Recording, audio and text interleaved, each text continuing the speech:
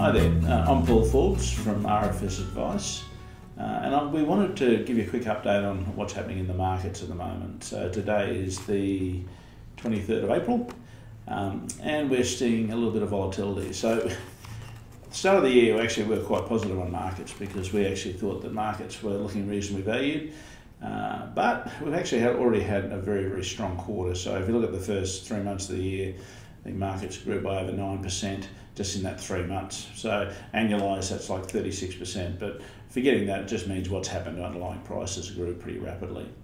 Now, that then meant that even by the end of March uh, in here and probably uh, through the start of early April, um, we went. It's not a matter of being concerned, but it is actually a matter of being careful when you start seeing uh, prices grow as rapidly as they do, as they did, um, and uh, fundamentally what happens is there's a there's a bit of a psychology to it. So markets look pricey, people start looking for any sort of negative um, uh, indicators, and we've got a few. All right. So the first one we should probably, and we'll just do a bit of. I'm just going to run through a little quick umbrella of, geopolitical events. And then what that means to energy, and then fundamentally what's also happening, what the other implications from interest, rate, interest rates. Um, so yes, we still have the Ukraine-Russian crisis going on. Um, that's put pressure on natural gas all over all over the world. Um, as well, of course, there's a, a, lot of money being spent on uh, helping Ukraine defend itself from uh, Russia. Um, but most recently, the main major focus has been on the Israel and Iran conflict. So um, I won't go back into the history of it. You all know the history of it. But the uh, most recently, um, the Iranians were, had had what you classed as probably a fairly concise attack on a, a, building where they killed off a number of generals, Iranian generals. Um, Iran uh, felt they had to have a response to Israel and sent over 300 drones and arguably some ballistic missiles towards uh, Israel, um, which the Israeli defences managed to shoot down 99% of them. Um, that, that's a big escalation because uh, Iran historically has used its proxies, uh, things like Hezbollah and Hamas, to attack Israel, but this is the first time in a very long time we've seen a direct attack or um, a direct confrontation between Iran and Israel. Um, we have to remember Israel actually has nuclear weapons and Iran has a nuclear program, so that's that's probably what scares the market there. Um, the most most recently, Israel actually provided a fairly uh, precise attack once again in response to the Iranian um, escalation or the, uh, the Iranian um, uh, barrage. And what it looked like it was trying to do, and it's a, you know, this is purely speculation and listening to commentators, is between the two of them, it was more a we can do this if we really have to, and both teams seem to have st- stood back a little bit now and gone, you know what, do we want to actually escalate this any further? Um, the market would indicate that that now has softened a little bit. Now, in the process of doing that, when people were worried about a significant escalation, they immediately started thinking about yes, there's a human tragedy in this, but also the impact more broadly on the world is this is a huge area in regard to oil exports, and the world runs on diesel, so we need oil. Um, so if you look at the Red Sea, um, we've already got the Houthis actually causing drama in there um, and attacking ships. Um, but if the if there was a significant conflict with Iran, um, we are talking about the Straits of Hormuz. I don't know if I pronounced that correctly, but it's H O R M U Z, um, which is a real choke point for, for movement of oil. So they call it the, the, the largest oil artery in the world. Um, and at one at one area in the channel is only it's only three kilometres across. So you could see um, this would be a logical place if someone wanted to get particularly um, aggressive or have an impact on the world generally. They could try and blockade that particular area. Um, so that's why oil prices suddenly started going up. On top of that, um, yeah, there is a um, because of the Houthis, more ships are now um, circumnavigating the long way around to avoid any potential conflicts, and this is adding to the cost of shipping. So there's that element of it which has now been reflected the pumps. Same story here in Australia. As soon as we start seeing any sort of increase in um, the cost of uh, cost of oil, um, then that has flow-on effects every, with everything you buy. We're a big country, we move a lot of stuff around, and we move it mainly on diesel. Uh, so whether it's trains, boats, um, cars, trucks, um, yeah, that's how we get things to and from places. So that there's you know, every incremental cost on that then gets passed through the consumer. So that was the first part of it. Um, if that softens again, we might see that pressure come off, which is good. So uh, we'd all like to think that there is been there is a de-escalation and both parties back away from any further aggression, um, and that would then indicate a softening in the, the demand for the soft softening in the risk of a major oil supply issue. Um, as you come closer to home, so the so markets started to react to that, but they're actually probably more reacting to interest rates. Um, so fundamentally, um, there's been an expectation ever since COVID that inflationary pressures would ease, and therefore uh, interest rate pressure, um, the, fun, the uh, uh, fundamentally interest rates would be able to ease as well. Um, why is this good? Well, it's good for a whole range of reasons, obviously. Now, first off, for the consumer, it puts, you know, if you're, if you're paying less for your mortgage, that puts more money back in your pocket, um, which increase, increases uh, the ability for you to spend money on other things. Um, um, it does improve confidence as well. So uh, if now it's it's sort of slightly slightly odd in that if interest rates are easing, it would mean economies are slowing. Um, but it, the, the fundamental concern is economies are running too hot at the moment. Now, that was the hope. And so there was a whole range of interest rate um, uh, cuts built into uh, forecasts by, um, by analysts all around the world. Uh, those are slowly disappearing.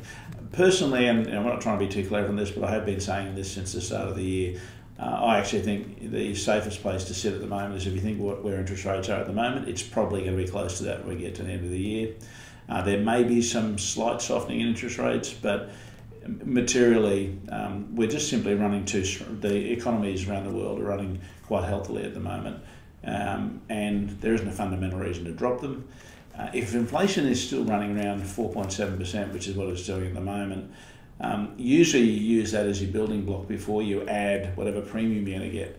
So interest rates should be sitting around 7% if inflation's sitting at 5 So even if it drops to 3.5 to 4%, it should still be sitting around about 6%.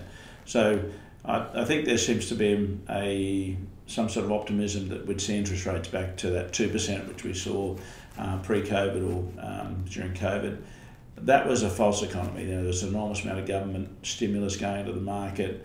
Um, all of those things actually led to um, interest rates being held down to an unrealistic level. Interest rates should actually always be above inflation. Otherwise, why would you lend money to people? Uh, so, so for me, that expectation is the safe bet for all all investors out there is consider rates to be sitting pretty much where they are now at the end of the year, and you won't necessarily be disappointed. It's unlikely they'll rise, even though there is um, some potential for that. Uh, but I don't think central banks around the, around the world would be particularly excited about a positive or an increase in rates. So if interest rates um, aren't dropping, then some of the built-in, uh, some of those, some of those um, built-in expectations um, from analysts uh, will be disappointing. Um, so cost of funds will remain where they are. Consumers won't have more money in their pocket to, to spend money um, there would be, um, we'll continue to see uh, pressure on things like housing um, and um, more generally, you actually you see a, a slowing down um, of, oh, sorry, a reduction in consumer confidence of what the future looks like for them. Um, the other thing which is both is a good thing though is that the unemployment rate is still running at 3.7%. So Normally, to see a softening economy, you'd actually have to see higher levels of unemployment because people, um, the, a, the, the job market needs some sort of pressure. So, um, so employers can actually try and uh, constrain wages growth. Um, the only way they can do that is by um, a market where there's more uh, employees available. Uh, unlikely at the moment. So we're still seeing pretty strong jobs um, jobs pressure. Our governments really aren't helping this at the moment, so this is both state and federal governments. Massive amount of protests going on out there. Um, if we look at Queensland, then, you know, there's some it's, it's pretty easy to, to go down that rabbit hole of why wages are increasing, but there's, there's a whole range of additional benefits offered to employees in government projects, which small business people and, and small projects simply can't afford. Uh, so that's that's where those workers are going, but that's also putting pressure on wages growth because if you're a small you're a small business and you're trying to retain staff, um, you're going to have to actually increase the benefits to those staff, which puts um, costs therefore on the additional costs of the projects, which then gets passed through to the consumer. So all that's sitting out there at the moment.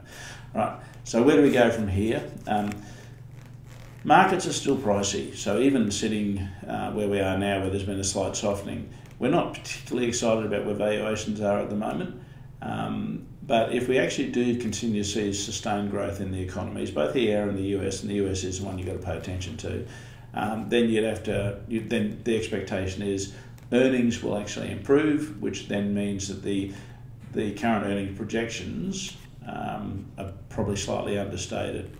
Now that's how we can actually see value in the markets. Um, the great news though is in the interim we actually have pretty effective um, weapons for yield now. So, you know, when cash rates are running at 0.1%, it wasn't very exciting to sit in cash.